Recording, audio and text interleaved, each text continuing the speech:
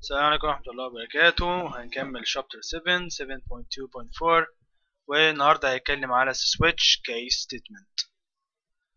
أم لو تفتكر إحنا في الفيديو اللي قبل كده شرحنا if قاعدة if و أه وقلنا إذا إذا تحقق الشرط ينفذ هذا البرنامج إذا لم يتحقق الشرط ينفذ هذا البرنامج. قاعدة switch هي ملهاش دعوة بهذا الكلام. هو دايما سيتحقق الشرط. إزاي؟ إزاي؟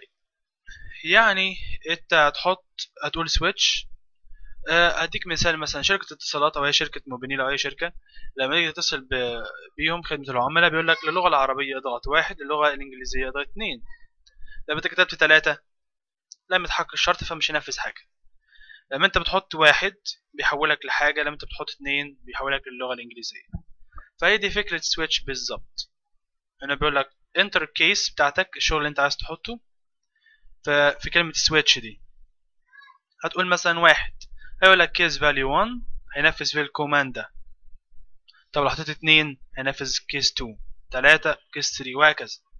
طب لو حطيت حاجة مش موجودة يعني مش أساسية في البرنامج أو أنت زي مثلا اللغة العربية اضغط واحد اللغة الإنجليزية اضغط اتنين تحت تلاتة.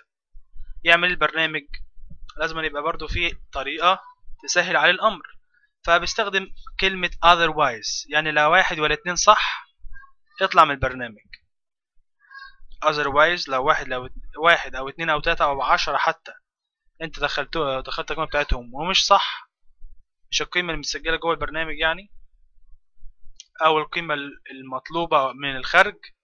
فيقول لك otherwise يقفل البرنامج. فيقول لك مثلا switch switch expression تحط هنا. 1 مثلا. لو حطيت 1 ينفذ case 1 وينفذ ال statements اللي جواها. لو قلت case 2 ينفذ اللي جوه ال statement 2 لو قلت case 3 ينفذ ال statement 3 وهكذا. دي فكرة آه قاعدة switch. هنيجي برنامج هنا أهو. يقول لك input a number between 1 to 7 هتحط رقم ما بين 1 ل 7 وتقول switch number اللي هو المتغير اللي انت حطيته ده. طبعا لو المستخدم حط واحد هينفذ كيس 1 ويعرض له على الشاشة يوم السبت ولا Saturday. طب لو حط اتنين Sunday تلاتة Monday Tuesday وهكذا. طب لو حط رقم مش موجود otherwise not a valid number. ويقفل البرنامج. إن شاء الله المرة الجاية هنشرح لوبس ودي هتبقى آخر حاجة في شابتر 7 والسلام عليكم ورحمة الله وبركاته.